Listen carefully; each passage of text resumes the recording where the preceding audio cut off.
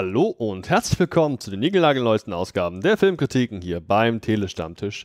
Und wir haben es auch in dieser Woche wieder geschafft, fast alle Kinostarts zu besprechen.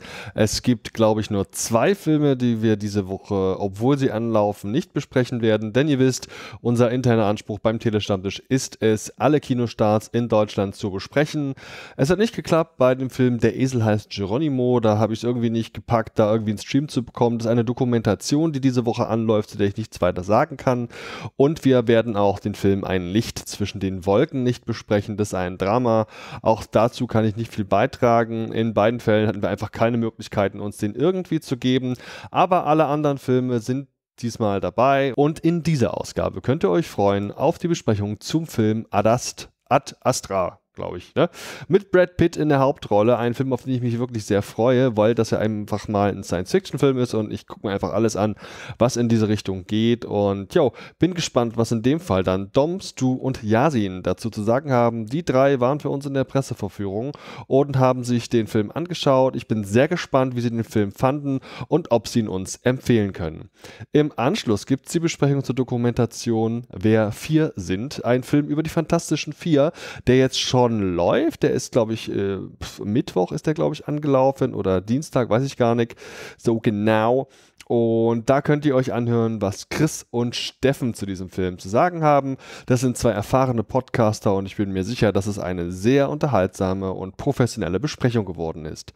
Und zu guter Letzt gibt es noch ein Solo zum Film Das Innere Leuchten vom lieben Michael. Der ist ja ganz neu zu uns gestoßen, ein Comic-Künstler, der sich jetzt hier auch in die Reihen des Telestammtischs verirrt hat. Und er hat sich hier eben diese Dokumentation vorgenommen. Es geht um Alzheimer und ist grundsätzlich ja auch ein Thema, wo man, glaube ich, viel falsch machen kann kann. Wie der Michael den Film fand, erfahrt ihr jetzt in seiner Solo-Besprechung. Ich würde mich freuen, wie immer, von euch zu hören, Feedback zu bekommen, am besten in irgendwelchen Kommentarfunktionen. Das heißt also, auf Facebook, Twitter, Instagram oder beim YouTube-Upload habt ihr die Gelegenheit, uns zu schreiben, wie ihr unsere Besprechung fandet, wie ihr die Konstellation der Redakteure fandet, wie euch vielleicht auch die Filme gefallen haben oder auf was ihr euch am meisten davon freut. Genauso freue ich mich drüber, wenn ihr uns Bewertungen hinterlasst, zum Beispiel auf Apple Podcast, auf podcast.de, auf FIT, auf Facebook, auf Google und bei vielen anderen Plattformen. Da könnt ihr häufig Podcasts bewerten, einzelne Ausgaben auch bewerten. Tut das bitte insbesondere eben beim Telestammtisch, denn das kann uns helfen, den Telestammtisch noch ein wenig bekannter zu machen und da mehr Hörer für uns zu gewinnen. Nun also viel Spaß bei unseren drei Filmbesprechungen und bis zum nächsten Mal. Ciao! Willkommen beim Telestammtisch zur Besprechung des Films Ad Astra zu den Sternen. Ich bin Nestu und heute an meiner Seite sind zum einen der liebe Dominik. Hallo Dominik. Aloha. Okay, ja, äh, dann bin ich gespannt, wie, was unser zweiter Mann in der Runde für eine Begrüßung raushaut. Äh, hallo Yassin. Grüß Gott. das war ein sehr schönes gerolltes R. Und wie Aloha passt es unperfekt zum heutigen Film. es ist nämlich, ja, es ist nämlich, wie bereits gesagt, Ad Astra. Und wenn ihr euch jetzt wundert, warum das alles irgendwie so ein bisschen schief läuft heute, wir haben heute den 13. Freitag, den 13. genau gesagt, im September. Ähm, ja. Ach, tatsächlich. Und wir haben elektromagnetische Stürme eventuell draußen. Ja, genau. ich habe das Gefühl, das wird ein riesiges Chaos noch werden heute. Okay. macht, macht nichts. Wir, wir, wir, wir, wir bolzen jetzt hier durch. Yassin, kannst du uns kurz die Fakten zu Ad Astra sagen? Die harten Fakten, die wären Ad Astra zu den Sternen ist der Titel. FSK von 12 und 122 Minuten geht der, wobei der mir länger vorkam. Äh, Regie äh, James Gray und äh, beim Cast waren dabei Brad Pitt, Tommy Lee Jones, Donald Sutherland, Liv Tyler und Ruth Negger. Vielen Dank. Und ich habe vergessen, meinen Fakt noch hinzuschreiben, der Film startet am 19. September in den deutschen Kinos. Das ist mein Fehler, es tut mir leid. Bitte schlagt mich. Einmal mit Profis arbeiten. Ja. Uh. Gut. Dann Dominik, sei doch mal Profi genug und sag uns, worum es geht. Geht's in Ad Astra überhaupt? In Ad Astra geht es um äh, Roy McBride, gespielt von Brad Pitt, der ein relativer Einzelgänger ist und dazu noch ein Astronaut und Raumfahrtingenieur. Und das Ganze ist angesiedelt in einer nicht näher definierten Zukunft. Roy McBride ist ziemlich gut in seinem Job, denn er ist berühmt dafür, dass er immer hochkonzentriert und gelassen bleibt bei der Arbeit. Allerdings dadurch auch den Nachteil hat, dass er im Privaten kaum eine Bindung aufbauen kann zu seiner Frau, gespielt von Liv Tyler. Und es begibt sich, dass die Erde in dieser nicht näher definierten Zukunft von elektromagnetischen Stürmen heimgesucht wird. Und Roy McBride wird daraufhin von der Raumfahrtbehörde, bei der er angestellt ist, die, glaube ich, wie hieß die doch mal? Ist, ist auch egal. Spacecom. Spacecom, genau. Genau. Irgendwas in der Richtung musste es ja sein. Er wird von ihnen kontaktiert, dass diese Stürme möglicherweise zusammenhängen könnten mit seinem Vater Clifford McBride. Der ist vor 30 Jahren zu einer Mission aufgebrochen im All. Irgendwann ist dann allerdings der Kontakt zu der Crew abgebrochen und jetzt wird vermutet, dass die ihr Projekt auf eigene Faust und im Geheimen weiterführen. Und nun soll Roy den Vater zur Vernunft bringen, indem halt er als sein Sohn Kontakt zu ihm aufnimmt. Dazu soll er äh, zunächst zum Mond reisen und dann zum Mars, um dann eine Reise zum Neptun anzutreten. Der Neptun ist der am weitesten entfernteste Planet in unserem Sonnensystem. Und ja, er begibt sich auf die Reise. Und ja, das ist so der Kick-off für den Film. Ja, vielen Dank. Ich weiß nicht, wie es euch geht. Also der Regisseur James Gray ist, glaube ich, vielen Personen ein Begriff. Der hat zuvor unter anderem The Lost City of Z gemacht. Ähm, mhm. Oder Helden der Nacht. Aber wenn man jetzt nur die Story hören würde, könnte man schon auf die Idee kommen, das ist so ein richtiger Spektakel-Sci-Fi-Film, wo es halt darum geht, dass so ein tapferer Held mal wieder die Welt retten muss. Wie ist es euch ergangen, als ihr in dem Film saßt? Was, hat, was hattet ihr für Erwartungen? Yassin, klär uns auf. Ja, äh, Ad Astra, ne, zu den Sternen.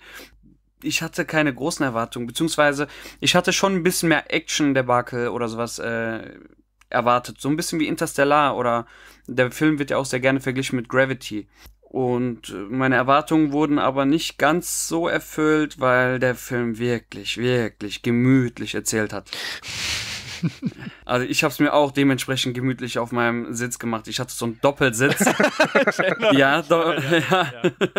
ja. Ja, wir, wir hatten VIP-Sitze, das muss ich da zusammen. Wir haben ganz hinten im Kino. Genau, so, so Partnersitze ja. waren das und ich habe die volle Fläche ausgenutzt, wirklich. mit, mit Tisch und allem, wirklich. Also, ja, genau. Ich möchte nicht wissen, was die kosten, normalerweise. Also habt ihr beiden gekuschelt? Nein, er war eine weiter. Okay, okay. Schön mit Distanz. okay, Dominik, welche Erwartungen hattest du denn von Ad Astra? Ich hatte schon erwartet, dass der eher so in Richtung Interstellar geht, also dass das wirklich mehr so Science Fiction ist, die wirklich mehr auf Atmosphäre und auf Handlung setzt. Interstellar ist ja jetzt auch nicht unbedingt ein Actionfeuerwerk und ich habe eigentlich durchaus was übrig für solche Filme, muss dann allerdings sagen, dass der mir teilweise, also ich habe ich hab nichts unbedingt gegen das Entschleunigte dieses Films, aber ja, die Story war mir dann teilweise manchmal echt zu schwergängig, mhm. tatsächlich, auch für diese Lauflänge. Okay. Bei mir war es so, ich meine, ich kannte James Gray, mir war auch, wie Dominik auch bewusst, das wird jetzt kein Action-Highlight werden, wobei der Film, so wie sehr gesagt, wirklich mal hübsche Action-Szenen hat. Mhm. Ich habe mich auch darauf eingestellt, dass der entschleunigt ist und ja, er ist verdammt entschleunigt und ich sag mal so, bei mir war die PV morgens um 10 und äh, ich habe wenig geschlafen, ich habe nicht gut geschlafen. Das heißt, es war auch durchaus ein Kraftakt, da dran zu bleiben. Oh ja, das kenne ich. Trotz allem, ja, trotz allem muss ich gestehen, dass mich der Film durchaus durch seine ja faszinierende Bildsprache durchaus gepackt hat. Also ich kam relativ zufrieden aus dem Kinosaal raus, auch wenn das ein Kraftakt war. Also das ist definitiv kein Film, glaube ich, den man sich mal so Freitagabends mit Freunden, Popcorn und einer Pulle Bier angucken kann. Ich glaube, das ist schon ein Film, auf den muss man sich einlassen können. Ja. Aber das ist Interstellar ja auch, ne? Also, wenn man ja. da drei Minuten nicht aufgepasst hat, checkt man schon die Hälfte des Films nicht. Ja, und ich muss auch gestehen, ich, ich, ich, ich finde Interstellar nicht schlecht. Ich finde ihn aber auch nicht gut. Ich bezeichne Interstellar immer gerne als 2001 mit Erklärbär. Ja, ich hab's dir gesagt. Hat der Dominik mir schon tatsächlich äh, gesagt auf dem Rückweg. Boah, verdammt, ey. Also ich muss echt aufpassen. Der Dominik, der klaut mir alle meine Catchphrases mittlerweile. Das ist, das ist ganz Nein, er hat dich schon zitiert okay. und auch gekennzeichnet. Nach dem Motto, äh, pass mal auf, wenn wir den Cast aufnehmen, ne? der, der Dicke ne? wird garantiert sagen, Interstellar ist 2001 mit der Klärbär. Macht der immer. Macht der immer. ja. Nee, aber es ist halt nun mal so. Und bei Interstellar, dem, dem konnte ich mich mehr hingeben. Äh, Quatsch, ich meine, Art Astra konnte ich mich mehr hingeben. Ich bin jetzt raus. Vergiss es. Ähm, egal. Habe ich schon erwähnt, dass heute Freitag der 13. ist? Perfektes Datum für einen Podcast. Ja, ja. Nee, was ich damit sagen will, äh, ich hatte mit Inter, äh, mit Ad Astra einfach mehr, mehr in Anführungszeichen Spaß. Der hat mich mehr abgeholt als Interstellar. Was auch, glaube ich, einfach daran liegt, dass ich fand, dass bei Ad Astra die Geschichte dann doch ein bisschen einfacher ist und für mich relativ klarer war, worum es eigentlich geht, während bei Interstellar ich irgendwann keinen Bock mehr hatte, dass mir Matthew McConaughey im Nuschelton wieder irgendwas erklärt. Obwohl das ja hier auch dann so ein bisschen das Phlegma des Films ist. Das, das stimmt, ja. ja. Also ich glaube, wenn ich ein, einen großen Makel aufzählen muss, den Ad Astra hat, dann sind es definitiv die Voice-Overs von Brad Pitt. Ja. ja, die waren einschläfernd teilweise, finde ich. Ja, manchmal, manchmal fand ich auch, dass sie unnötig waren, weil am Anfang erklärt er einem was. Und ich dachte mir, okay, okay, danke. Das hätte man auch anders erklären können, aber gut, gut, jetzt weiß ich Bescheid. Und nach einer halben Stunde erklärt es dir nochmal, warum er gerade so und so handelt. Weil irgendwann weiß man als Zuschauer, okay, du tust das, weil du halt eben so trainiert worden bist. Mhm. Ja, du musst mir das nicht alle zehn Minuten nochmal neu erklären. Das, das, das war schon ein großer Schwachpunkt. Ja, also für mich wirkt dieses Voice-Over, das mag jetzt zynisch klingen, aber für mich wirkt es tatsächlich fast so ein bisschen, als wäre es irgendwie vom äh, Tree of Life Schneidetisch übrig geblieben. Und ich habe auch die Theorie gehabt, weil man, äh, man muss ja wissen, der Film sollte ja ursprünglich im Mai erscheinen mhm. und wurde dann von Disney, die ja jetzt die Inhaber von Fox sind, wurde ja jetzt halt in den September geschoben.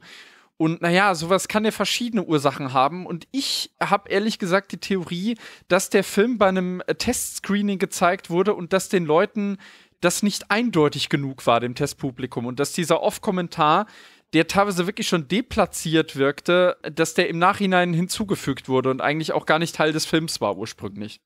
Wobei die Frage da auch wäre, hätte Disney den Aufwand betrieben, weil die die Fox-Filme ja behandeln wie äh, ja was weiß ich, so, lass die fertigen noch schnell irgendwie ins Kino bringen und dann machen wir irgendwann was Neues. Ja, aber sie haben den ja jetzt trotzdem am, am Bein gehabt und ich nehme an, die Testverführungen könnten vielleicht auch schon unter Fox stattgefunden haben. Ich weiß es nicht. Also, das wäre jetzt halt so meine Theorie. Ah, okay. Weil ich halt finde, dass der Off-Kommentar, also ich fand den, ich, ich kann da eine Szene rausgreifen, ich weiß nicht mehr genau, die ist relativ am Anfang des Films, da ist er noch auf der Erde oder, glaube ich, auf dem Mond, auf dieser, in dieser Kolonie. Da telefoniert er, glaube ich nimmt eine Voicemail auf und während er die aufnimmt oder oder äh, oh, ja. oder äh, zwischen den Sätzen hört man auch noch seine inneren Monologe. Das heißt, du hast drei Tonspuren in dieser einen Szene, die dir letzten Endes das alle das Gleiche erzählen über, über diesen Augenblick. Ja, was mich auch da genervt hat, ist, wenn auch gleicher Fall, da ist irgendein Funkspruch und dieser Funkspruch fängt an, irgendwas Interessantes zu sagen und dann kommt auf einmal wieder ein Voice-Over, wo, wo du den Funkspruch nicht mehr verstehst. Das hat mich auch ein bisschen genervt. Mhm. Ja, das, äh, wie gesagt, das Voice-Over ist, wie gesagt, das, das, das für mich auch größte Problem des Films. Mehr noch als die Entschleunigung. Damit konnte ich irgendwie umgehen, auch wenn ich halt, wie gesagt, ob ich noch fünf Stunden oder vier Stunden geschlafen habe, die Nacht zuvor. Mhm. Aber ich, ich fand den trotzdem so als gesamtes Package sehr überzeugend, weil die Kamera war großartig, also die Bilder sind sensationell. Der Kameramann ist der heute van der Heu-Thema, ich hoffe, ich habe es richtig ausgesprochen. Mhm. Der hat auch Interstellar gemacht und ich glaube Skyfall, wenn ich mich richtig erinnere. Also es ist, das war Roger Deakins. Dann, dann, dann war es. Spectre hat er gemacht. Spectre, ja. genau. Also das ist so neben Deakins und Lubeski, glaube ich, aktuell der meistgefragte äh, Kameramann, den es so gibt. Und dazu muss man sagen, die Musik ist halt von, von Max Richter, mhm. der auch schon einige tolle Scores gemacht hat. Und ich weiß, Interstellar-Fans werden mich jetzt hassen, aber ich fand den Score von Hans Zimmer Interstellar einfach nur nervig. Okay. Es tut mir leid. Ich liebe Und den. Ich fand den. ja, ja. Ich fand den auch gut. Ich finde, der hat zu Interstellar gepasst irgendwie. Ja, dann geht doch weiter kuscheln. Wir reden ja nicht über Interstellar heute, also. Ja. Es, es ist schön, dass äh, Max Richter jetzt tatsächlich, weil, ja gut, ich, ich komme ja auch aus dem Filmmusikbereich, äh, also äh, Film-Fanbereich, meine Güte, ich heute Freitag der 13. Und äh, es ist schön, dass Max Richter jetzt endlich mal zum Zug kommt, weil wenn man sich erinnert, er hatte zum Beispiel auch ein Stück in Arrival, dieses, dieses Stück, was am Ende von Arrival gespielt wird und halt wirklich äh, ein Kernelement des Films ist. Und es wurde halt nicht mal, glaube ich, also es, es wird irgendwo am Rande im Abspann erwähnt, dass das halt von ihm ist. Hm. Und der Rest wird Johann Johansson halt zugeschrieben. Ne? Also das, das finde ich immer sehr traurig. Vor allem Max Richter ist ja, also äh, der Name ist nicht zufällig, das ist tatsächlich auch ein Deutscher. Und der hat ja auch schon großartige Arbeit geleistet, zum Beispiel bei der Serie The Leftovers für HBO. Und äh, ich finde es, ich es toll, dass er jetzt auch so große äh, Blockbuster mittlerweile dann auch vertonen darf. Wie fandest du den Soundtrack denn, Dominik? Ich fand den ziemlich atmosphärisch tatsächlich. Also so rein thematisch ist mir jetzt nichts hängen geblieben. Das hängt aber auch damit zusammen, dass Max Richter, ähnlich wie zum Beispiel Philipp Glass, ein relativer Minimalist ist. Und äh, zur Atmosphäre des Films hat es gepasst. Das hatte teilweise schon was, was Meditatives. Ja. Ne? Also hattest du ja auch so zu mir gemeint, dass der manchmal fast schon ein bisschen, ja, man ist jetzt die Frage, wie man meditativ auffasst. Das kann man halt als entspannt oder einschläfernd also, verstehen. Es gab Szenen, äh, da war das schon, da konnte das dich schon in so eine Art Trance versetzen. Mhm. Aber ich finde, zum Film selbst, zu der Story und alles zu diesem Entschleunigten, äh, hat das sehr gut gepasst. Der, der Film, der hat auch wunderbar, finde ich, so die, die Stille des Weltalls tatsächlich auch mal wieder betont. Ne? Also, das, das finde ich immer so schlimm bei heutigen Science-Fiction-Filmen dass da immer so, also jetzt Interstellar hat zum Beispiel auch damit gearbeitet, äh, bei der Explosion da, aber äh, also das, viele heutige Science-Fiction-Filme haben einfach viel zu viel Sound im Weltall. Und das ist hier zum Beispiel auch sehr prägnant gewesen, dass der fehlte bei dieser, die sieht man ja auch schon im Trailer, diese Verfolgungsjagd mit den Mondpiraten tatsächlich. Ja, stimmt. Ja, jetzt wo du es sagst, fällt mir das auch gerade auf. Äh, Mondpiraten ist ein gutes Stichwort, finde ich, weil der Film dir ja auch zeigt, wie sich die Welt, du hast ja schon gesagt, es gibt ja keine genaue Zeitangabe, am Anfang wird via Texttafel gesagt, nahe Zukunft, mhm. aber wie sich die Welt so weiterentwickelt hat. Ja, und da gibt es ein paar echt hübsche Szenen. Zum Beispiel eben, dass der Mond halt eben so in Zonen aufgeteilt ist und es gibt halt so freie Zonen, wo es halt dir passieren kann, dass du von irgendwelchen Piraten halt angegriffen wirst. Und das mm. fand ich war eine sehr clevere, eine sehr hübsche Idee, oder was ich auch ganz nett fand, er, er, er reist ja erstmal so, ich sag mal, undercover halt. Erstmal zum, zum Mond und dann zum Mars. Subway. Genau. und, und er kommt dann, er kommt dann halt in, in so einem Terminal an und da gibt's halt einen DHL-Shop und Subway. Ja. Wobei ja. ich gelesen habe, dass das wohl für das europäische Publikum umgeändert worden ist, weil in den USA wohl da äh, statt ein Subway ein Applebee's ist. Okay. Okay. Das scheint mal wohl geändert zu haben. Es ist ja, es ist ja gang und gäbe. Man erinnere sich nur an, an äh, Demolition Man, wo sie ja aus Taco Bell ja Pizza Hut gemacht haben. Das, das fand ich aber ganz, ganz nett, vor allem, weil es so nebenbei passiert. Also der Film, der, der drückt jetzt nicht mit, mit der Lupe drauf und sagt, guck mal, guck mal, guck mal, mhm. sondern, sondern er erzählt es einfach. Und ich fand diese Welt sehr, sehr interessant, weil ich weil ich wirklich das Gefühl hatte, irgendwie ist das schon alles so möglich. Also das ist jetzt nichts, wo ich sage, so, das ist einfach, das wird nie im Leben passieren. Ja, ja, wenn ich da was sagen darf, das mit den Mondpiraten auch. Ich bin ehrlich, ich hätte mir da schon ein bisschen mehr gewünscht. Weil äh, das, äh, das hat mich sehr neugierig gemacht, auch da auf dem Mond mit Subway und was weiß ich. Die hätten ein bisschen mehr von dieser aufgebauten Welt drumherum finde ich, etwas erzählen können. Aber die haben sich ja fast komplett nur eingeschossen auf Brad Pitt. Wirklich. Mhm. Ja, man kann schon wirklich sagen, also auch die ganzen Darsteller, also der Film ist ja durchaus hochkarätig besetzt, das haben wir ja vorhin schon bei den Fakten genannt. Aber man muss sagen, sie kreisen wirklich alle um Brad Pitt, der wortwörtlich der Fixstern dieses Films ist, ne? Ja.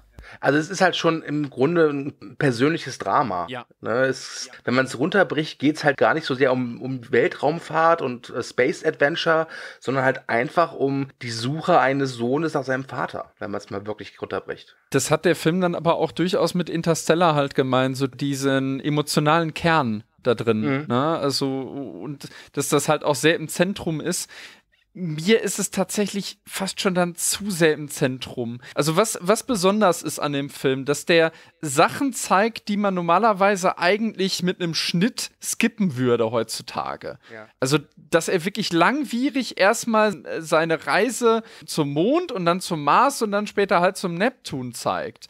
Und da sind schöne Details. Also ich kann mich da erinnern, da wird es ja total selbstverständlich dargestellt, dass da mittlerweile anscheinend eine Reiselinie ist auf den Mond. Und da sitzt er dann irgendwie, und da kommt dann eine Stewardess rein, wie in einem Flugzeug, wie man das halt kennt. Oh ja, die Szene. Und, Und die, äh, er sagt dann irgendwie zu ihr, ja, könnte ich irgendwie eine Decke und ein Kissen haben? Und sie sagt dann so, ja, gerne. Äh, geben Sie mal Ihre Kreditkarte oder, oder was auch immer. Ja, das macht äh, 145 Dollar oder so ähnlich. Ne? Also da wurde auch richtig schön diese, diese Privatisierung und, und Kommerzialisierung, da wurde schön drauf angespielt. Also der Film hat schöne Details in seinem Worldbuilding, aber dabei bleibt es halt. Also natürlich ist es irgendwo okay, wenn man sich auf den Charakter im Zentrum konzentriert und die anderen Sachen halt nur so gestriffen werden. Aber ich muss sagen, ich habe halt an den, also das, das Problem ist bei mir, ich sehe bei äh, dem Film an den Rändern halt Sachen, die ich sehr viel interessanter finde als das, was im Mittelpunkt steht, muss ich zugeben. Ja, Genau das Gefühl hatte ich auch. Ne? Nee, da ging es mir halt anders. Ich fand es ganz, ganz schön, dass es halt nur so angestriffen wurde. Es, ich bin halt diesem, diesem Brad Pitt, also diesem, wer ist der, Roy McBride, gefolgt. Genau. Und fand das sehr, ja, fast schon inspirierend, weil ich nach dem Film halt so auch so ein bisschen drüber nachgedacht habe, halt über diese Welt. Und ich glaube, das hätte ich nicht gehabt, wenn sie halt noch mehr erklärt hätten das, deswegen hatte der Film bei mir da schon eine andere Wirkung. Ja, aber wenn du sagst, äh, Interstellar ist wie 2001 mit Erklärbär, dann ist das ja schon klar, dass dir das gefallen hat. ja, Interstellar ist ja, ist ja auch durchaus kryptischer dann an vielen Stellen. Ne? Also der, der Film hier ist ja eigentlich relativ eindeutig. Also das kann man auch schon mal sagen, so wahnsinnig viel spoilern kann man da eigentlich nicht, weil der eigentlich eine relativ geradlinige und ja, aus meiner Sicht dann äh, nach hinten raus etwas zu schlichte Geschichte hat. Also man äh, merkt irgendwie auch, dass dieser Film, das ist jetzt halt so bezeichnend, dass der so einer der letzten Filme ist, die jetzt noch über Fox rauskommen. Der wirkt manchmal echt noch wie aus so einem alten Hollywood, der Film. Genau, altes Hollywood, das stimmt. Das fand ich halt auch sehr schön. Und es tut mir für den Film halt absolut leid, weil ich glaube, das ist ein Film, den kannst du nicht richtig vermarkten. Das geht einfach nicht. Nee. Weil ich glaube, für, für Leute, die den Effekt-Blockbuster suchen, hat er einfach zu wenig Spektakel. Und für Leute, die jetzt wirklich so ein total verkopftes Science-Fiction-Film suchen, ist der nicht verkopft genug. Ja. Das richtig. ist, das ist so ein ganz, so, so, so ein Twitter-Wesen. Es tut, also, so gut ich den Film, Film fand, aber der wird garantiert floppen. Und ich, ja. und ich, ich kann es verstehen, weil der wirklich so zwischen den Stühlen steht. Andererseits finde ich es auch ganz cool, dass es so einen Film halt noch gibt. Ne? Ja, stimmt, in der heutigen Zeit, ne? Eben, das, das muss ich auch nochmal betonen. Also ich finde den Film jetzt, also ich bin, ja, wie gesagt, ich habe mir ein bisschen mehr erwartet. Vielleicht, vielleicht hast du mich da gerade wirklich in die Brust getroffen, Stu, weil mir ist er, glaube ich, nicht verkopft genug. Ja. Beziehungsweise nicht, nicht vielschichtig genug. Mhm. Aber was man wirklich nochmal betonen muss, es ist jetzt nicht irgendwie mein Jahreshighlight oder sonst was. Ich finde den Film nicht schlecht, auf keinen Fall. Ich finde ihn insgesamt irgendwo solide. Aber ich muss nochmal betonen, es ist schön, dass es ihn überhaupt gibt. Ja. Und wer weiß, wie lange es sowas noch geben wird. Ne? Und ich würde halt auch anraten, wenn euch der Film nur im kleinsten Teil interessiert, dann gebt euch einen Ruck und guckt euch den im Kino an, weil der, glaube ich, mit einer guten Soundanlage und einer großen Leinwand wirklich gut funktioniert. Weil, das sei nochmal gesagt, der hat halt wirklich teilweise fantastische Bilder. Ja, die einen aber auch nicht erschlagen. Ja. Ne? In, in, indem man wirklich förmlich schwelgen kann und die wie so, also die, die auch nie irgendwie selbstzweckhaft äh, inszeniert wirken oder so, ne? Und, und wenn der, also das, das Interessante ist an dem Film, also der ist ja relativ ruhig, aber wenn es knallt, dann richtig. Ne? Also der hat ein großartiges Sounddesign. Redest du vom Finale oder von den äh, von so Szenen zwischendurch beim Knallen? Ich rede vor allem von der Szene, weil die überrascht einen teilweise halt auch mit ihrem Sounddesign, äh, diese Szene halt mit dem, mit dem Mondpiraten, mhm. die ja wirklich schon so, die muss man sich wirklich vorstellen wie Mad Max Fury Road auf dem Mond. Ne? Und, und, man darf nicht vergessen, dass sie halt wirklich darauf achten, diese, die, die, die Mondphysik mit einzubeziehen. Ja. ja. Und das, also die, die Szene ist nicht so lang. Ich glaube, ich würde schätzen, dann geht die fünf bis zehn Minuten maximal. maximal. Ähm, mhm. Aber die ist halt wirklich toll gefilmt und sowas hat man auch noch nicht gesehen. Also ich zumindest nicht. Ja. Weil ganz ehrlich, wir haben schon hunderte von Verfolgungsjagden gesehen, auch hunderte Verfolgungsjagden, wo dann der Raketenwerfer rausgeräumt wird und so. Fast and Furious, ne? genau, genau. Eben. Aber bitte, jetzt, jetzt glaubt glaub nicht, dass ihr bei Ad Astra Hobbs und Shaw auf dem Mond seht. Bitte nicht. und Idris Elba wartet dann in der, auf der dunklen Seite des Mondes, ne? Genau, ja. Jetzt, jetzt hast du den Cameo von Dwayne Johnson vorweggenommen. Du, ah, also verdammt. Wirklich. Verdammt. Ach, das ist jetzt aber doof. Also, was, was ich noch sagen kann, was ich halt meinte, von wegen, dass da halt an den Rändern ungenutztes Potenzial schlummert. Also, bestes Beispiel, die Rolle von Ruth Negger. Ja wenn man den Trailer sich anguckt, Ja. dann hat, erwartet man da ganz viel von ihr und man hat sich auch irgendwie drauf gefreut, fand ich jetzt. Genau. Mit Ruth Negger. Aber dann kam ja gar nichts. Irgendwie zwei Szenen. Und die sind halt wirklich alle so. Also Donald Sutherland, äh, ohne jetzt zu viel zu verraten, er hat eine Viertelstunde in diesem Film. Wobei man sich das vielleicht schon erschließen kann, weil ich hatte mich eh schon gewundert, dass jemand, der halt schon so, naja, schon so in seinen besseren Jahren ist oder in so in seinen letzten Jahren, dass der mit auf den Mond kommt beispielsweise, ne? Mhm.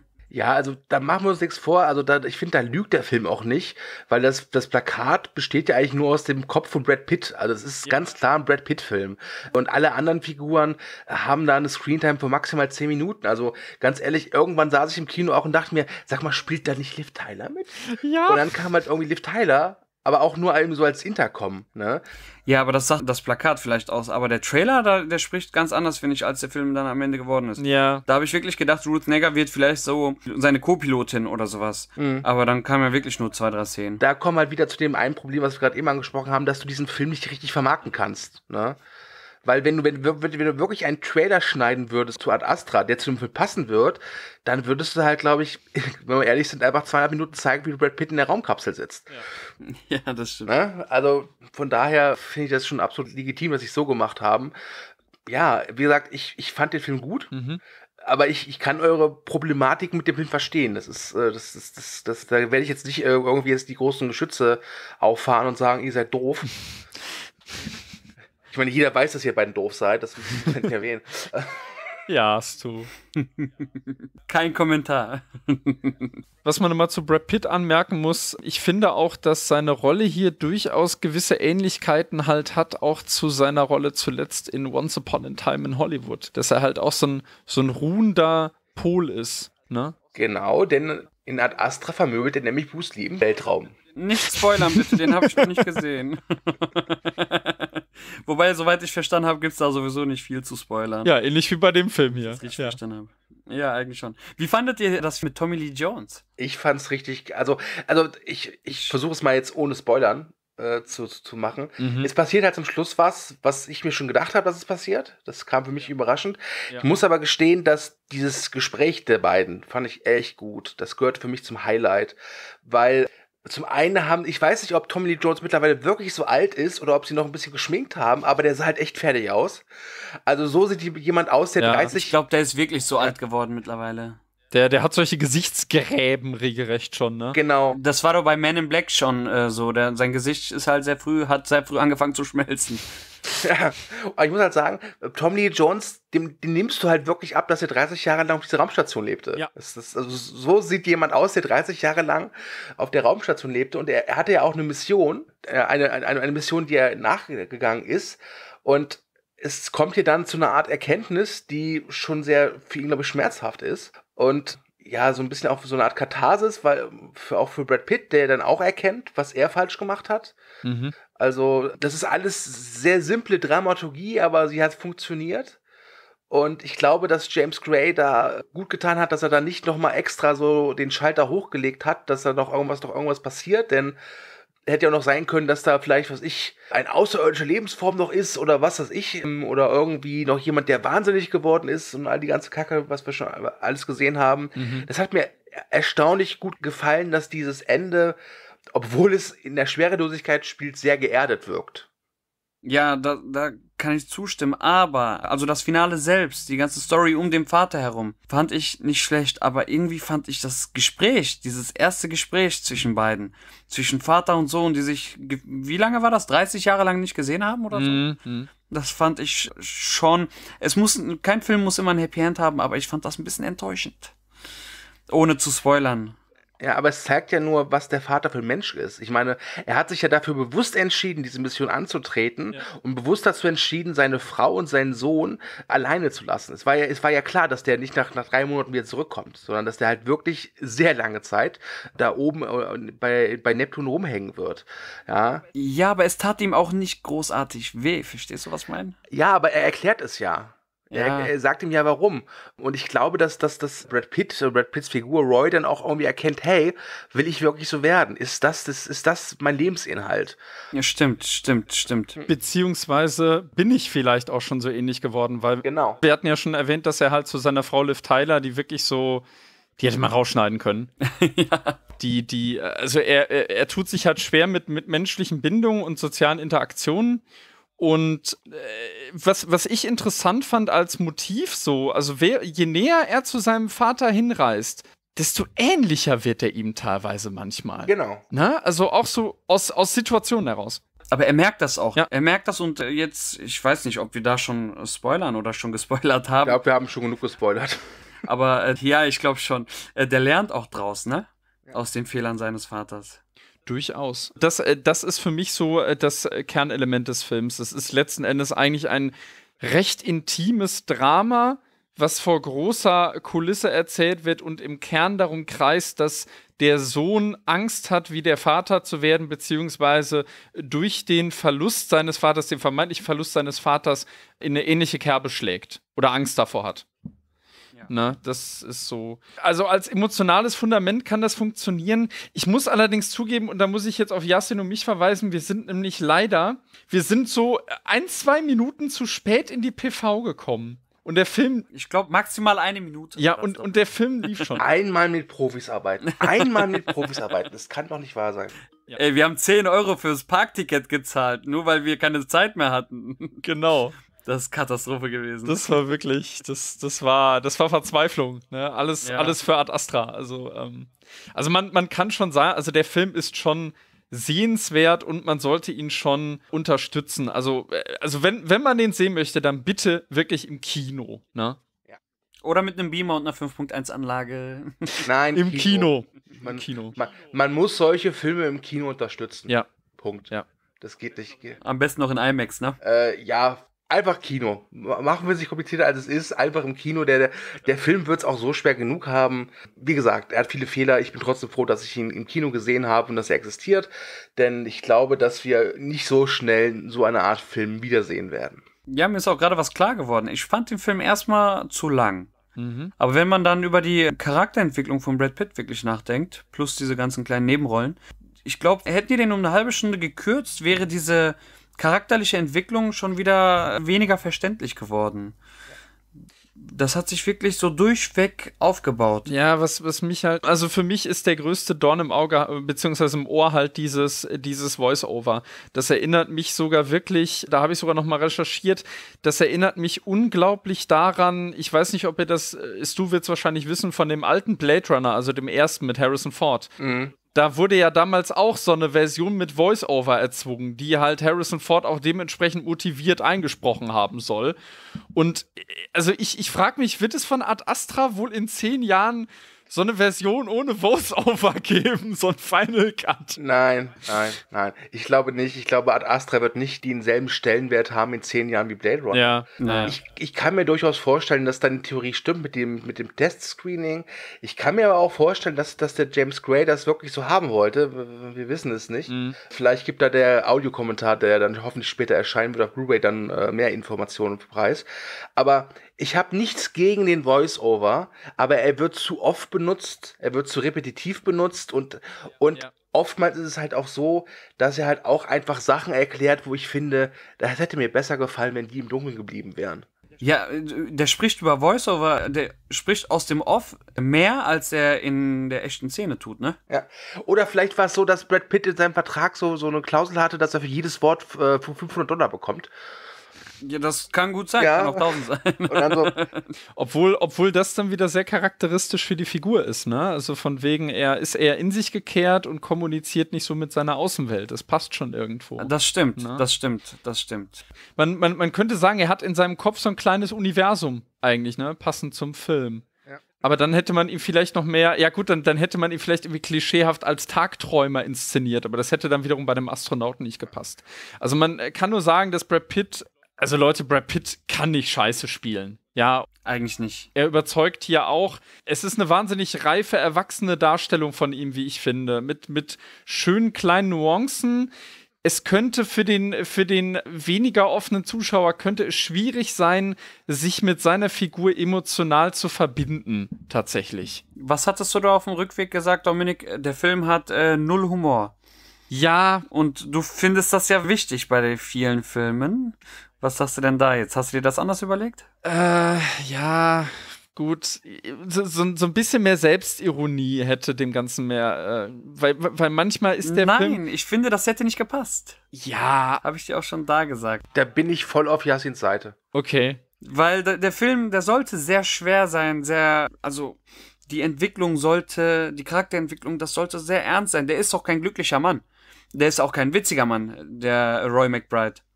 Nee, das, das ist, das ist ja auch, also das müssen wir nochmal betonen, das ist wirklich eher ein nachdenklicher Science-Fiction-Film als wirklich ein Science-Fiction-Film, tatsächlich. Ne? Also ich stelle mir, stell mir gerade vor, dass, dass Brad Pitt und Tommy Jones sich nach 30 Jahren wiedersehen, also Vater und Sohn.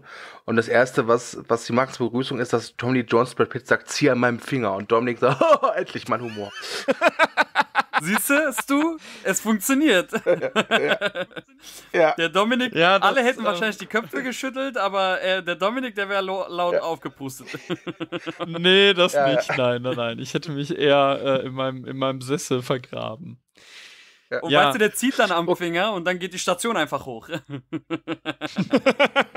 also Disney, wenn ihr Ad Astra wieder erwarten fortsetzen wollt, meldet euch bei uns. Wir haben ein paar nette oh. Nein, bitte, bitte keine Fortsetzung. Ja. Okay, ich würde sagen, jetzt haben wir schon über eine halbe Stunde gelabert. Wollen wir mal zum Fazit kommen? Ja. Gut. Gerne. Dann machen wir es einfach so, dass der Dominik mal anfängt. Ich fange an. Warum ich? Ich hatte mir viel versprochen von dem Film. Das hängt allerdings auch damit zusammen, dass ich mich, das habe ich schon öfters beim Movie Break, äh, Movie Break geil äh, betont, dass ich mich dieses Jahr wirklich an Originalstoffen festhalte. Und ich war natürlich auch gespannt wegen James Gray und ich bin seit dem neuen Tarantino bin ich unglaublich gehypt auf Brad Pitt irgendwie. Äh, direkt enttäuscht bin ich nicht. Ich hatte mir einfach mehr erwartet. Die Story ist mir nach hinten raus einfach zu schlicht für diese Laufzeit.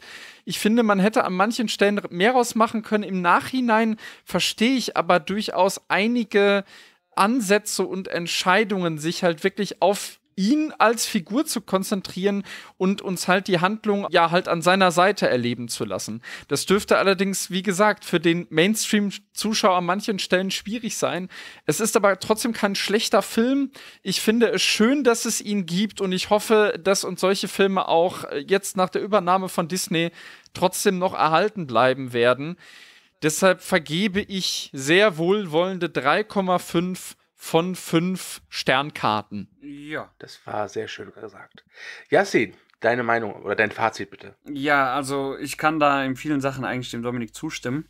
Ich muss ehrlich sagen, ich habe mir den Trailer angeguckt. Ich habe auch keinen Inhalt oder so, keine Zusammenfassung gesehen, sondern nur den Trailer und deswegen war ich erstmal ein bisschen enttäuscht. So im Nachhinein überlegt auch das mit dieser Humorsache und so, dass da sehr viele Längen drin waren. Aber schlussendlich kam ich dann auch ein, zwei Tage später, ich habe so drüber nachgedacht und dachte mir, so musste der schon sein. Also alles andere wäre albern gewesen. Was ich schlecht fand, waren die letzten vier Minuten. Die hätten ja gar nicht sein müssen. Die hätte man einfach weglassen können. Aber ansonsten war es ein ruhiger und schön anzusehender Film. Und deswegen gebe ich dem. Boah, ist schwer sechseinhalb von zehn. Oder nee, machen wir, machen wir sieben. Einfach weil Brad Pitt richtig geil war. Okay, gut. ähm, ich werde versuchen, mein Fazit als Voice-Over wiederzugeben. Sollen wir dabei reden, Dominik und ich? Oh nein, bitte. Das würde dann zum Film passen. So, ja. Ja, ich glaube, genau. Das, das, das, ja. Ich, ich kann auch meine Liv Tyler-Stimme auspacken. Ich glaube, das ist leider ein bisschen schwer, deswegen lassen wir es mit dem Voice-Over. Aber Voice-Over wäre dann so, so ein bisschen wie, meine beiden Kollegen haben ihre Wertung abgegeben. Und ich muss gestehen, ich hätte Schlimmeres erwartet. Wobei. Aber jetzt war ich dran. Was sollte ich tun? Alle positiven und negativen Sachen wurden bereits angesprochen. Es ging nur noch um meine Gewichtung. Ich hatte einfach zwei Stunden wirklich Spaß mit diesem Film. Er war entschleunigt, er war anstrengend, aber er war interessant gemacht. Audiovisuell ein, ein wirkliches Brett. Ich, ich kann nicht anders. Ich würde ganz einfach jetzt sagen, wie ich den Film fand. Äh, ich gebe vier von fünf Sternkarten.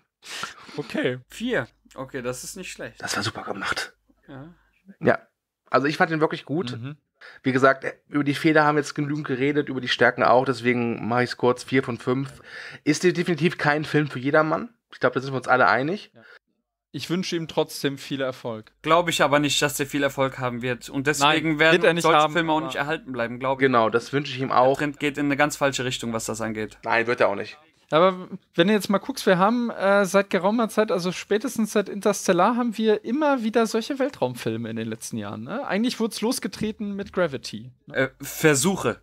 Die haben versucht, da dem nahe zu kommen. Mhm. Ja, man darf aber nicht vergessen, wer die gemacht hat. Ja. Das waren halt alles Regisseure, ja, die schon einen gewissen Stellenwert haben. Also, wenn, wenn, wenn Christopher Nolan einen Film machen will über ein Erdferkel, was surfen geht, dann macht Christopher Nolan einen Film über ein Erdferkel, das surfen geht. Ey, es gab einen Film über Erdferkel, also der hieß zumindest Artwalk, den habe ich mit Maximilian besprochen. Aber der war scheiße. Gut, er war okay, ja. ja. Okay. Also war nicht Christopher Nolan wahrscheinlich. Okay. ja, aber ja, gut, wir, wir hatten der Marsianer und wir hatten, was, was hatten wir denn noch? Also mit Gravity jetzt, glaube ich, angefangen, ne? Ja, es gibt schon alle zwei Jahre immer so einen Weltraumfilm Film. Das ist auch schön. Ja. Also vor allem, weil, wie gesagt, Interstellar, ich finde ihn nicht schlecht, nicht falsch verstehen. Marsianer fand ich auch super. Gravity auch ein Erlebnis und jetzt Ad Astra. Ich finde, da haben wir echt vier gute Weltraumfilme in den letzten Jahren bekommen. Ja. ja jetzt brauchen wir nur noch Will Smith und äh, wen haben wir da noch an Top-Schauspielern? Hast du After Earth gesehen? Oh mein Gott. Okay, dann brauchen wir Will Smith, aber nochmal in gut, bitte. Ah, da kommt doch Gemini Man, aber das ist ja nicht wieder sein, das ist ja nicht Weltraumfilm, deswegen äh, fällt der wieder raus. Gut, dann äh, ja. würde ich sagen, sind wir durch. Ähm, war ein sehr schöner Cast, wie ich finde. Ja. Ja, ich weiß nicht, ist du, lässt du uns Eigenwerbung machen oder? Ach, du, du machst sie für uns beide. Äh, ja, klar. Also, Dominik hört ja ganz oft beim Telestammtisch, äh, wo er auch ganz viele Podcasts schneidet. Vielen Dank dafür. Außerdem gehört Dominik zum Team Movie Break und schreibt da auch Filmkritiken, News und macht auch ganz viele Podcasts. Ähm, da könnt ihr gerne mal reinhören. Yassin ist Mathematikstudent. Das gibt Danke, dass du, dass du mir die Sympathie bei den Hörern äh, kaputt machst. Ja. Immer nicht Physik bei diesem Film. Außerdem, wenn ich mich recht erinnere, ist Yassin auch Drummer in der Band, nicht wahr? Okay, das macht wieder Pluspunkte wahrscheinlich. Ja. Äh, die Band heißt übrigens die Mathematikstudenten. Nein, um Gottes Willen, nein. Und sie spielen Schlager-Metal. Ja. Ihr neuester Hit Cosinus äh, könnt ihr wahrscheinlich auch irgendwann auf iTunes hören. Könnt ihr das mal machen? Falsch, das ist die Ableitung von Cosinus. Sinus. Scheiße, Minus Sinus. Ja, da spricht der studierte Mathematiker. Komm, Leute, ja. wir haben schon 40 Minuten voll. Ja, ja. ja okay.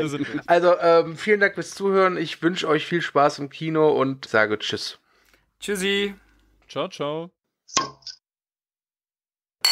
Hallo, hier ist Steffen und nicht Dennis von Nerd Nerd Nerd und äh, bei mir ist Chris. Hi. Grüß dich. Ähm, das erklären wir nicht, oder? Nee, nee, nee, das ist ein Insider. Kleine Geheimnisse. genau. ähm, wir beide haben den Film Wer vier, Wer vier sind, so muss man es aussprechen, die neue Musikdoku der Fantastischen Vier gesehen. Ähm, du hattest den Stream, ich war tatsächlich im Kino dafür. Ja. Genau. Ähm, in der Presseverführung. Der startet am 15. September 2019 im Kino. Regie hat geführt Thomas Schwendemann. Ja, und das ist so ein bisschen so ein Rückblick auf 30 Jahre Fanta 4. Ähm, ja, wir haben nur kurz vorher schon mal drüber gesprochen, du hast es gerade schon so angerissen, unsere Beziehung zur Band. Wie sieht's denn da bei dir aus? Ja, also, ich bin jetzt kein großer Fan, sage ich mal so, aber ich äh, weiß nicht, die Band verfolgt mich schon seit seit, seit den 90ern, natürlich, natürlich seit den 90ern, seit ihren ersten Hit, ähm, die da, kenne ich die natürlich dann auch, man hat sie dann immer so zwischendurch gehört, dann kam, hatten die dann halt ihr Erfolgs-Comeback ähm, sozusagen und äh, das war auch so in der Zeit, wo man eigentlich dann mehr aktiv als Jugendlicher dann halt auch äh, Musik gehört hat und seitdem verfolgen die mich so ein bisschen ich höre die gerne, ich mag die, ich finde die immer sehr unterhaltsam, sehr lustig und ich finde die halt auch von ihrer Gesinnung her, also so politisch gesehen und alles, fand ich halt immer sehr sympathisch und jedes Mal, wenn ich, wenn ich die irgendwo sehe, habe ich immer gute Laune. Also das ist so, das, wenn ich an die Fantastischen Vier denke. denke. ja, mir geht es da ganz ähnlich. Also eben auch in den 90ern so den ersten Kontakt sehr viel, also ich habe die als Kind, glaube ich, viel mehr gehört äh, als jetzt in den letzten zehn Jahren. Ähm, hab die aber immer mal wieder, ähm, ja, ich bin denen immer mal wieder begegnet sozusagen. Ähm, auch in den einzelnen Solo-Projekten, so wenn ähm, Thomas D. dann irgendwann angefangen hat mit seinem Song Goku da, mit diesem Solo-Projekt dann. Mhm. Ähm, oder ähm, Michi Beck, der dann irgendwie mit diesen, das ist glaube ich Turntable Rockers, ne, dieses ähm, äh, Elektro-Projekt, was er dann da hatte und so verschiedene genau. andere Sachen. Smudo, der noch so, glaube ich, Rennfahrer geworden ist und all das. ja, ähm, genau. Also die haben mich eigentlich auch wirklich so von kind, Kindesbeinen an immer wieder begleitet und ähm, ich würde mich jetzt nicht als Fan, Riesenfan bezeichnen, aber äh, wann immer ich sie gesehen habe, habe ich mich gefreut und vor allem auch gehört habe natürlich. Weil die so eine unfassbare, angenehme Stimmung verbreiten, oder? Also das ist nie irgendwie ätzend. Das ist einmal immer sehr nett, auch wenn sie mal ein bisschen äh, über den Rand irgendwie äh, schlagen und dann ein bisschen anstrengend werden, ist es trotzdem immer noch lustig irgendwie auf die ein oder andere Art. Ja, ich glaube, da geht der Film auch so ein bisschen drauf ein, ne? so diese Vierer-Dynamik. Und ich hatte erst so die Sorge, ähm, ich habe als äh, Kind und als Jugendlicher sehr viel Musikfernsehen konsumiert. Mhm. Und da liefen dann natürlich auch immer schon mal so Rückblicke auf, ich weiß es nicht, 10 Jahre Fanta 4, 15 Jahre Fanta 4, 20 Jahre Fanta 4. Also immer in so, äh, ähm, in so größeren Abschnitten wurde dann wieder zurückgeblickt. Und ich hatte so die Sorge, na, hast du das jetzt alles schon mal gesehen? Kennst du das jetzt alles schon? Mhm. Ähm, teils. Also wenn man jetzt die Band wirklich verfolgt hat, wird da nicht so viel Neues äh, ähm, vorkommen, war so mein Eindruck. Ähm, es ist aber, das war vor allem so mein, mein, äh, ja, mein, meine Quintessenz aus diesem Film. Es ist, glaube ich, viel persönlicher als früher, oder? So das, wie sie sich jetzt präsentieren, glaube ich, ne? Mhm.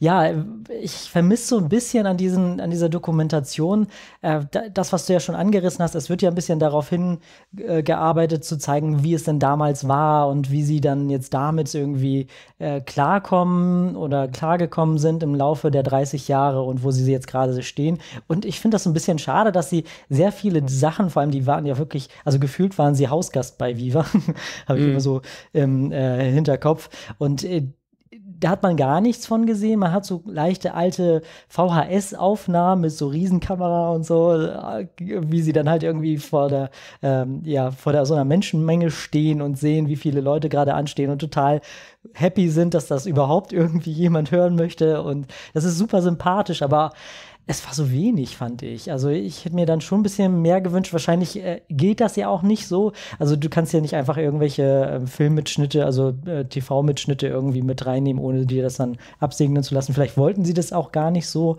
Es, ja, das hat mir so ein bisschen gefehlt. Und ich muss sagen, ich hätte mir den ganzen Aufbau, ich meine, das sind ja auch, dieser Film ist wirklich extrem lang, eine Stunde 46 für so eine Dokumentation. Also man muss die wirklich mögen, um sich das anzuschauen. Naja, ich fand überraschend, dass man so private, so semi-private Einblicke bekommen hat. Also alle, alle vier wohnen ja dementsprechend äh, woanders. Also äh, nicht nur, dass sie vom, vom Wesen und von der Art her komplett unterschiedlich sind, sie wohnen dann auch wirklich im Norden, Süden, Osten und Westen, so mehr oder weniger verteilt. Und äh, da bekommt man dann so ein bisschen Einblicke, wie sie denn ihren Alltag und äh, durch die Tour gehen. Und das fand ich, fand ich schon spannend, aber irgendwie fehlte mir da ein bisschen was. Ich weiß auch nicht. Also ich kann verstehen, dass dir so dieses, äh, dieser ganze Viva Kitsch, hätte ich jetzt fast gesagt, so ein bisschen fehlt. Aber das ist ja genau das, was in den früheren Dokumentationen immer drin gewesen ist. So ja. dieses, wir hüpfen hier bunt durchs äh, Viva-Studio äh, und haben lustige Frisuren und äh, schräge Klamotten an. Haben sie immer noch? Ich fand schön, dass, dass sie das wirklich so auf diese Anfangszeit beschränkt haben. Ähm, und dann aber stattdessen eben die Band auch noch begleitet haben. Die haben da ein neues Album produziert, ähm, haben eine neue Tour vorbereitet und dabei sieht man die Band eben.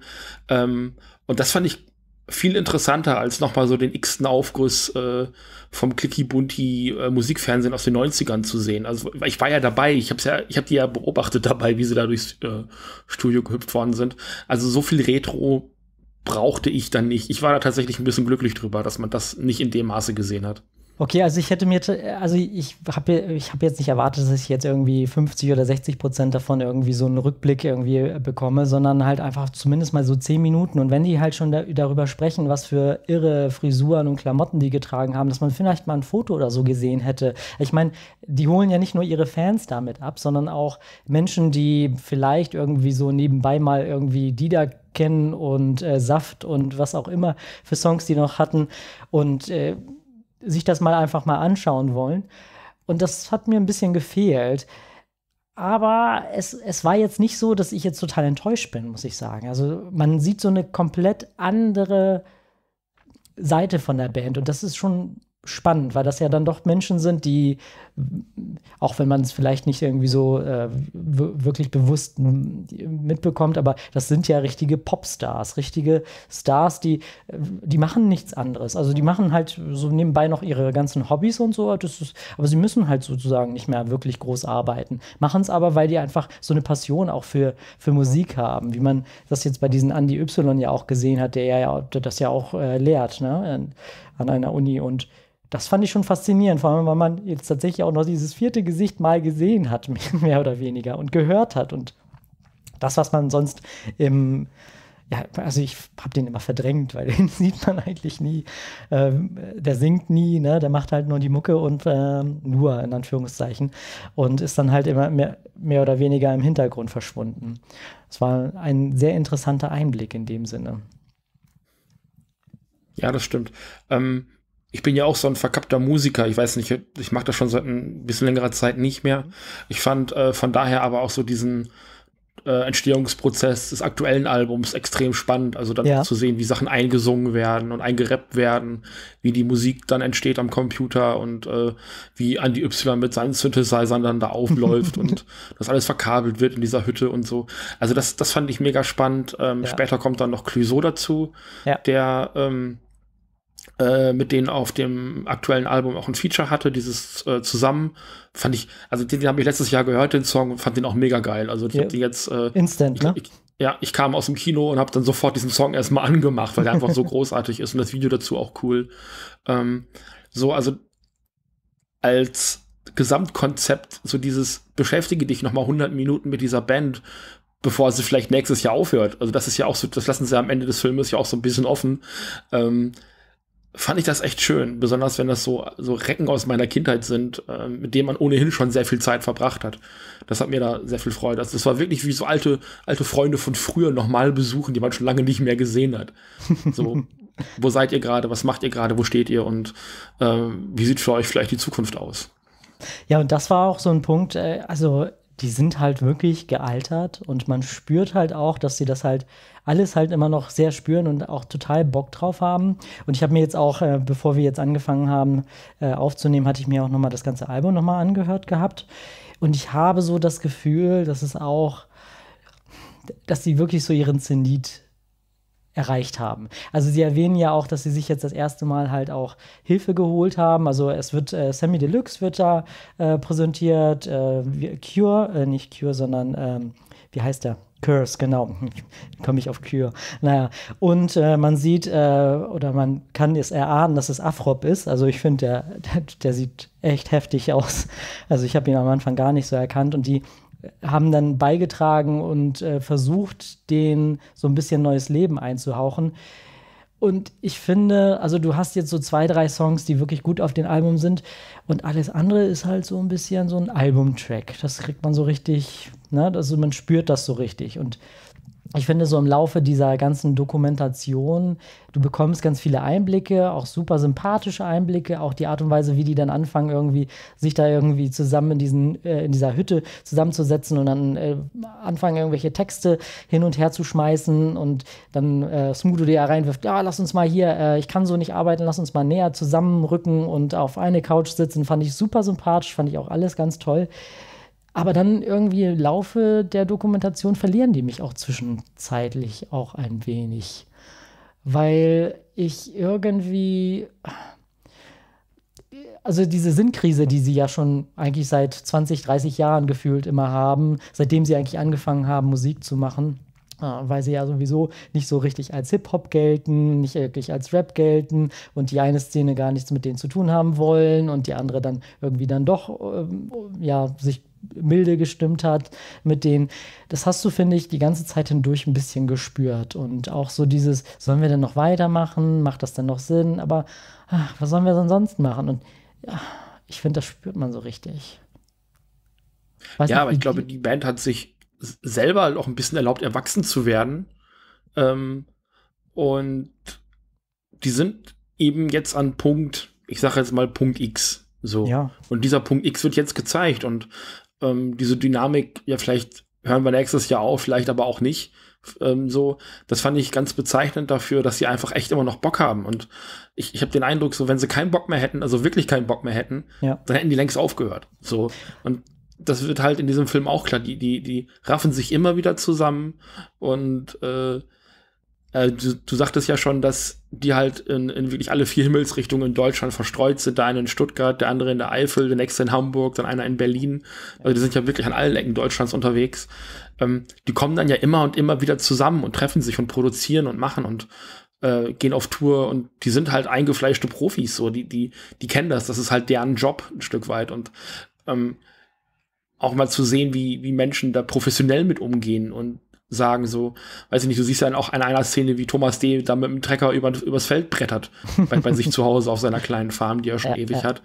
Ähm, so, das, das ist sein Leben, aber eben auch diese Band ist sein Leben und das war so das was ich meinte, als ich gesagt habe, das ist ja persönlich, weil also nicht, dass es mich großartig interessiert hätte, so bin ich nicht, aber man hat nicht so besonders viel über deren Familie gehört in letzter Zeit. So, das war das erste Mal, dass ich mir auch Gedanken darüber gemacht habe, was haben die eigentlich für ein Privatleben und ähm, das sind so Sachen, das haben sie früher so aus den Dokus so ein bisschen rausgehalten, das ist jetzt hier, hier mit drin. Mhm. Ähm, Aber auch Das nur war ganz schon- leicht. Also man sieht, glaube ich, die Kinder irgendwie von äh, Thomas, äh, nicht von Thomas, sondern äh, von Hausmark, also Michi Beck, sieht man ja irgendwie ganz kurz und äh, ja, so den Rest sieht man da eigentlich kaum. Und wa was ich so ein bisschen irritierend fand, ist, äh, also die haben sich in den letzten 30 Jahren auch nicht weiterentwickelt, meiner Meinung nach, von der Musik her. Natürlich haben sie so Kollaborationen mit anderen gemacht und dementsprechend ändert sich so ein bisschen der Stil. Aber wenn ich mir auch das aktuelle Album anschaue und wie die dann auch damals in den, diese Mini-Footage, die die dann so zeigen, wie die dann drauf waren und äh, wie lustig das war, es hat sich irgendwie nichts verändert. Also ob das jetzt positiv oder negativ ist, muss man das halt, muss man sich selbst irgendwie ähm, beantworten. Aber ich finde, die, die haben jetzt kein, also die haben ihr, ihr Level nicht hochgepusht oder wie soll man das sagen? Also sie, sie haben sich in dem Sinne nicht weiterentwickelt, dass das jetzt irgendwie ein komplett anderer Sound ist oder der Sound irgendwie total unterschiedlich zum ersten Album ist. Wenn man sich dieses Album jetzt anhört, wenn man sich anguckt, wie sie die, die Tour machen, es sieht alles so aus wie damals. Natürlich sind sie älter geworden, tragen ein bisschen andere Klamotten und sind natürlich total professionell und äh, sympathisch wie immer und sind natürlich älter geworden. Aber das ist, glaube ich, auch alles. Also die haben sich nicht großartig verändert. Also da, da kenne ich andere Musiker, wo man denen das schon deutlich ansieht, dass du ja, dass du dann doch schon ähm, ja, ein anderes Level erreicht hast. Jetzt natürlich abgesehen von dem musikalischen, dass das natürlich ein ganz anderer Sound ist, und bla. aber es hört sich trotzdem sehr an wie die Anfänge. Also wenn, wenn ich jetzt die ganzen Alben zusammenmixe, bis auf natürlich diese paar Highlights, die dann natürlich, die dann auch in den Charts waren, also ich könnte dir dann nicht sagen, als nicht richtiger Fan in dem Sinne, ob das jetzt neue Sachen sind oder alte Sachen von denen. Ich weiß nicht, das irritierte mich die ganze Zeit so ein bisschen. Ich weiß aber auch nicht, ob das jetzt negativ ist. Ne? Also ich denke mal, so ein eingefleischter Fanta 4-Fan, denen ist das total Banane, ob das jetzt irgendwie anders klingt oder nicht, sondern die wollen halt so vor allem ein Stück. Das ist ja mittlerweile dann so, wenn man, wenn man mit den Jungs dann aufgewachsen ist, so ein bisschen Jugend halt auch wieder zurückbekommen. Ne? So Erinnerungen, die dann hochkommen. Ich meine, da gibt so einen bezeichneten Moment, äh, bezeichneten Moment, wo die auf der Bühne stehen und dann fragen die, ah, wir wissen ja nicht, ob das jetzt, äh, ob wir das jetzt spielen sollen oder nicht. Also sollen wir es? Hm. Und dann fragen sie, ob sie äh, die da spielen sollen, weil die eigentlich gar keinen Bock auf den Song haben, was halt klar ist, wenn du so mit einem Hit dann bekannt geworden bist und den ständig irgendwie äh, gehört hast und die Leute irgendwelche Witze über dich gemacht haben, nur wegen dem Track. Und da hängt ja auch noch ganz viel anderes dran. Dann ist es natürlich auch, äh, ja, weißt ne, du, spürst dann halt so, die haben da eigentlich gar keinen Bock auf diesen Song, aber die Fans wollen das, weil das halt so etwas ist, womit die irgendwas anderes mit verbinden. Und das ist dann auch so Fanservice, was die da machen. Ne? Die gehen auf Tour, um für die Fans was zu machen. Natürlich verdienen die damit auch ihr Geld, aber, aber das ist halt, ne, deren Sache. Und ja, Ja, kann man so sehen. Ähm, ist sicherlich auch eine Sache, die der Film auch so ein bisschen behandelt. So dieses, wir machen das, was wir, was wir können und wahrscheinlich auch einer der Gründe, warum sie sich Leute von außen reingeholt haben, ne, um da vielleicht noch mal so ein bisschen neuen Input ähm, zu bekommen. weil sie selber gemerkt haben, wir, wir kriegen das gerade nicht mehr so an den Start. Ja. Ähm, ich bin nach der Veranstaltung gefragt worden von der Agentur, wem würde diesen Film empfehlen. Mhm. Ähm, ich habe das beantwortet mit Musikfans, Hip-Hop-Fans, äh, Fanta-Fans. Was würdest du sagen? Also definitiv Deutschrap-Fans, weil das auch schon, also auch wenn man die vielleicht nicht sonderlich mag in dem Kontext, oder mögen könnte, weil man vielleicht meint, das sind jetzt keine richtigen Rapper in Anführungszeichen. Aber das gehört zur deutschen Geschichte, finde ich, also zur deutschen Rap-Musikgeschichte. Es ist äh, auf jeden Fall etwas, was äh, sich so ältere Semester, die mit denen aufgewachsen sind, gerne angucken können aber auch Leute, die so Musik interessiert sind. Halt, du hattest da ja schon äh, darauf hingewiesen, man sieht so diesen Lern, also diesen, diesen Entwicklungsprozess, wie Songs entstehen, wie Songs geschrieben werden. Du lernst auch so ein bisschen die Persönlichkeiten dahinter kennen, du, wie, wie vier Leute, die eine Band haben, einen Song entwickeln, die aber vier unterschiedliche Meinungen und Sichtweisen haben und dann kommt aber trotzdem noch irgendwas zustande, womit sie dann halt irgendwie glücklich sind. Und ähm, ja, ansonsten halt Menschen, die äh, ja Musik interessiert sind. Ne? Also das sind so die Personen, die sich, die glaube ich auch ganz viel Spaß dabei haben, dieses ganze Dr Trubel drumherum irgendwie mitzubekommen und auch so ein bisschen Backstage zu kommen und dann mitzubekommen, was für Menschen sind das eigentlich, die hauptberuflich Musiker sind, die nicht so wie du und ich irgendwie äh, ja dann mittags im Büro sitzen, abends nach Hause kommen und vielleicht im, ja, auf ein Fanta 4 Konzert abends gehen. Die machen das hauptberuflich, die reden die ganze Zeit über Musik, die machen Musik, die machen aber auch noch ein paar andere Dinge und haben natürlich auch eine Familie, die sie dann irgendwie kombinieren müssen. Und dann haben sie auch noch so dieses, ähm, ja, dieses Untereinander, diese Personen, die unterschiedlich sind, die sich aber mögen und auch mehr oder weniger unzertrennlich sind. Was ich ganz interessant finde, ist, dass äh, jetzt so ein bisschen Gossip, als ich ja jetzt ein bisschen äh, über diesen Film dann versucht habe äh, zu lesen, habe ich nämlich auch gehört, dass äh, jeder einzelne äh, von den Fanta 4, diese äh, ist jetzt versichert, also sprich, wenn irgendeine Person stirbt, bekommt jede einzelne Person, also die überlebt hat, eine Million. Das fand ich schon sehr krass. also zumindest äh, eine Million äh, D-Mark war das damals, also eine halbe Million kriegen die äh, restlichen Bandmitglieder. Ich, die, der Gedanke dahinter ist wohl der, dass äh, ja ohne eine Person von Fanta 4 kann es keine Fanta 4 mehr geben und dementsprechend würden die dann halt komplett aufhören. Was vielleicht ja, wenn man sich die Doku anschaut und die Fragestellung nochmal aufwirft, wirft, wie lange Fanta 4 noch weitermachen, naja, wahrscheinlich bis äh, keiner mehr da ist. Ja, bis, bis einer von den live äh, auf der Bühne umfällt. So wirkt es in der Doku auf jeden Fall. Ja, mir war das ehrlich gesagt nicht mehr so richtig bewusst, dass die wirklich solche Flummis sind auf der Bühne. Ne? Mhm. Und das halt immer noch so drauf haben, irgendwie Stimmung zu machen. Und, und da hast du wieder diesen Moment, wo du merkst, das sind halt wirklich Leute, die haben da richtig Lust drauf. Ja, aber diese Sinneskrise kriegst du in der Dokumentation ständig mit. Also hm. Wer ist das? Wer, wer, wer, wohin will man? Was will man noch machen, wenn man alles, was man sich gewünscht hat, erreicht hat? Ne? Wohin geht man dann? Das ist ein sehr schöner Film. Und ja, also wer sich halt für die, die Jungs interessiert und allgemein so ein bisschen für deutsche Musik, äh, da hat er definitiv Spaß dran. Ja, cool. Hast du noch irgendwas Wichtiges vergessen? Mein Lieblingszitat. Oh ja. Und zwar, äh, da wurde mal angesprochen, dass Mudo selbst ja jemand ist, der halt drei, vier Dinge gleichzeitig macht, was ich super sympathisch finde, weil ich das auch immer sehr gerne mache. Und äh, ich glaube, der Andy Y, der ist dann unfassbar genervt davon. Und da gab es dann halt so eine, so eine schöne Szene, wo dann äh, ja Smudo dann irgendwie in, in so einem Besprechungsraum sitzt und an sein äh, Notebook da irgendwie, ich glaube, irgend so ein Spiel zockt und parallel parallel dann mit jemand, also mit den anderen redet und Andi Y total genervt rüber schielt. Und dann kam halt die Antwort, äh, weil er wieder angemeckert worden ist, äh, dass er doch bitte hier sich an, an, an, äh, ja, an dem Gespräch beteiligen soll und nicht spielen soll, dann sagte er sowas wie, ich höre nicht mit den Augen zu. Und das fand ich mhm. wirklich großartig. Also das war, wenn ich das total nachvollziehen kann, ja. Ja, das ist eben so ein Aspekt, du lernst die halt nochmal ganz anders kennen. Komplett, ne? ja. Mit ihren einzelnen Persönlichkeiten. Und super ja. sympathisch, ja. Genau, sehr sympathisch. genau wie hoffentlich diese Besprechung für euch gewesen ist. Ähm, konntet da hoffentlich was äh, für mitnehmen und äh, habt vielleicht auch Spaß an diesem Film.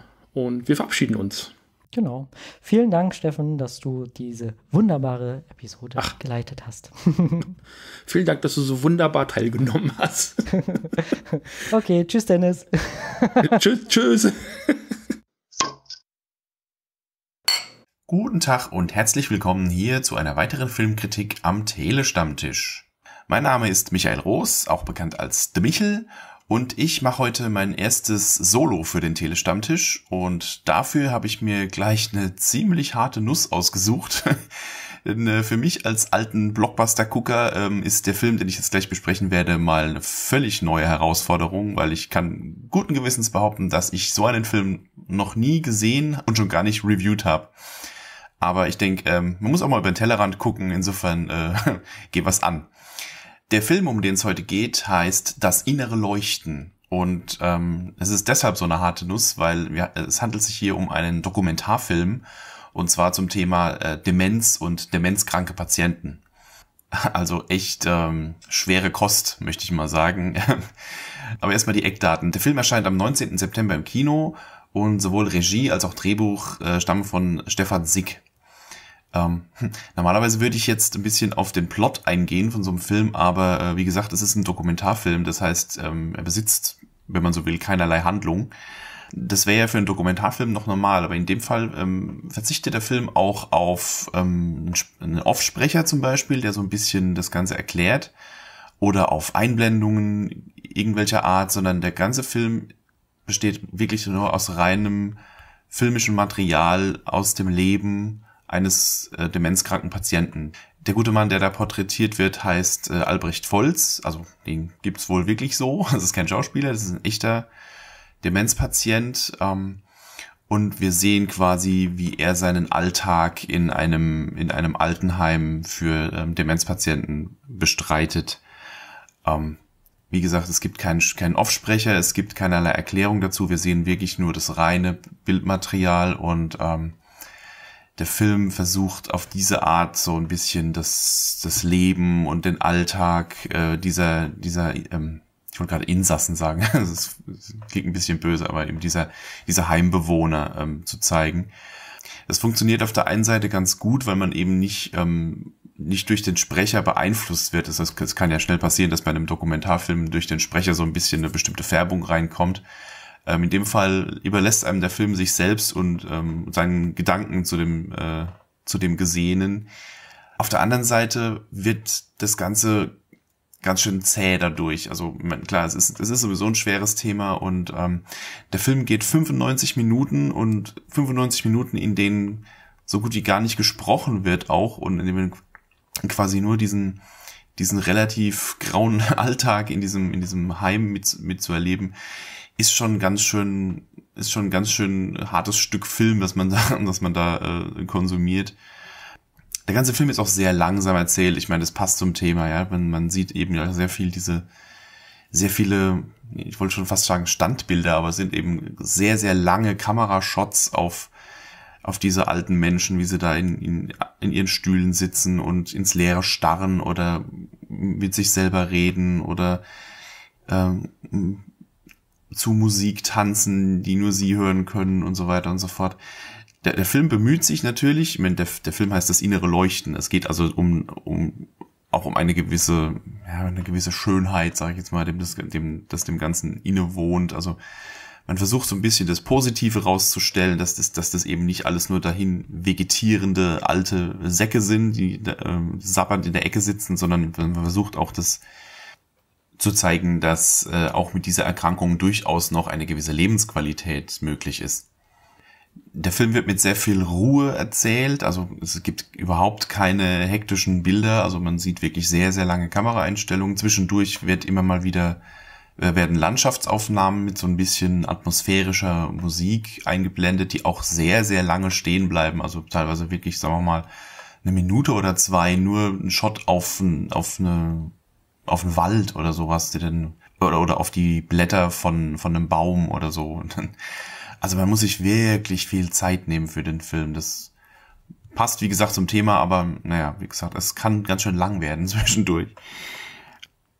Ich weiß gar nicht, wie viel mehr ich darüber noch erzählen soll. Ich kann noch, ich kann noch sagen, was der Film in mir ausgelöst hat. Gedacht war es wohl so, um dass der Film so ein bisschen die Angst vor Demenzerkrankungen nehmen soll, dass man eben zeigt, dass man auch mit dieser Erkrankung noch äh, noch schöne noch Schönes erleben kann und dass es eben nicht das Ende ist. Das Problem dabei ist, das hat bei mir nur so bedingt funktioniert. Klar hat der Film sehr schöne Bilder, die sind ähm, zum Teil wirklich äh, herzerwärmend, auch wenn man gerade das, das Miteinander zwischen den verschiedenen Demenzpatienten äh, beobachtet, wie die miteinander umgehen, total liebevoll und auch die, auch die Pfleger und Pflegerinnen in diesem Heim, wie die mit den Patienten umgehen. Also das ist schon, ähm, es ist schon rührend teilweise. Aber auf der anderen Seite hat das Ganze halt eben auch was unfassbar deprimierendes. Und ja, wie gesagt, der Film hat zwei Dinge in mir ausgelöst. Zum einen wirklich tiefen Respekt vor den äh, Pflegern in so einem Heim, die mit den Demenzpatienten umgehen und die mit einer Engelsgeduld denen durch den Alltag helfen und ähm, in, in winzig kleinen äh, Schritten und Handgriffen ähm, versuchen, die kleinsten alltäglichen Dinge noch, ähm, noch möglich zu machen. Also tiefen Respekt für jeden, der, der diesen Job macht und ähm, sollten viel mehr machen eigentlich. Und das Zweite, was der Film leider bei mir zumindest ausgelöst hat, ist wirklich noch ein bisschen mehr Angst davor, irgendwann mal vielleicht ähm, so zu enden. Mir ging die ganze Zeit während des Films ähm, ein, ein Satz durch den Kopf, den meine Mutter immer sagt, ähm, der lautet sinngemäß so, wenn ich mal so end, dann schlacht mal bitte ein Bratpan auf den Kopf, äh, damit ich euch nicht zur Last fall. Ja, klingt hart, aber ähm, wenn ich solche Bilder sehe, dann denke ich mir leider sowas ganz ähnliches. Aber naja, es geht vielleicht nur mir so, andere mögen da vielleicht anderes rausziehen aus so einem Film. Ähm, kommen wir mal zu dem Punkt, vor dem, es mir, vor dem es mir so ein bisschen gegraust hat, nämlich zur Punktewertung. ich bin mir tatsächlich nicht sicher, wie ich den Film bewerten soll, äh, weil, wie gesagt, hat, es ist halt ein Dokumentarfilm, hat keinerlei Handlung, keine Schauspieler, die es zu bewerten gilt. Man kann nur so ein bisschen den Gesamteindruck bewerten.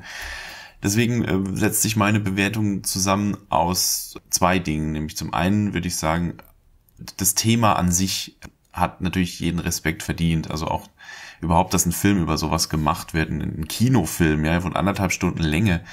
Ähm, ist natürlich äh, aller Ehren wert und ich, ich traue mich auch nicht da, das irgendwie schlecht zu reden und schlecht zu bewerten, weil es ist halt ein Thema, auf das das alle betreffen kann und es ist wichtig, dass man sowas anspricht und so weiter und so fort. Insofern ähm, Respekt dafür. Auf der anderen Seite, wenn ich jetzt die rein filmischen Aspekte ähm, mal unter die Lupe nehmen muss, dann würde ich sagen, ähm, hat man es hier halt echt mit einem sehr, sehr langatmigen Film zu tun. Ähm, wo ich schon nach einer Stunde schon gedacht habe, boah, jetzt ist mal langsam genug. Ich habe jetzt, ähm, ich, ich würde jetzt gern wieder was anderes sehen, was mich weniger, was mich weniger deprimiert. Und es ist vermutlich Geschmackssache, aber ich, ich dachte mir am Schluss so, ähm, ich, ich weiß nicht, ob's, ob die Zahl der Leute, die sich den Film im Kino ansehen werden, ob das den zweistelligen Bereich ähm, reicht oder nicht, weil es ist halt schon, es ist mehr, mehr sowas für Arte, hätte ich jetzt gedacht, und nicht für einen Kinofilm. Insofern, naja, es ist, also ist, war jetzt nicht so meins, was das angeht. Aber eben äh, in, in Kombination mit dem durchaus ehrenwerten, ähm, durchaus ehrenwerten Versuch, dieses Thema mal wieder so ein bisschen in den äh, Fokus zu rücken, ergibt sich von mir so ein bisschen so eine halbärschige Mittelwertung. Deswegen gebe ich äh, drei von fünf äh, tanzenden Opis. Ich hoffe, ihr konntet mit der Kritik so ein bisschen was anfangen. Vielleicht will sich ja der ein oder andere den Film tatsächlich angucken. Er wird vermutlich nicht so furchtbar oft im Kino laufen. Soweit ich das hier überflogen habe, läuft er nur einmal. Aber ich denke, wer den Film sehen möchte, der wird auch auf jeden Fall irgendwo eine Vorstellung finden. So, damit war's das mit meiner Kritik. Äh, ich hoffe, es hat euch ein bisschen gefallen und äh, wir hören uns dann irgendwann wieder im Telestammtisch. Bis demnächst. Tschüss.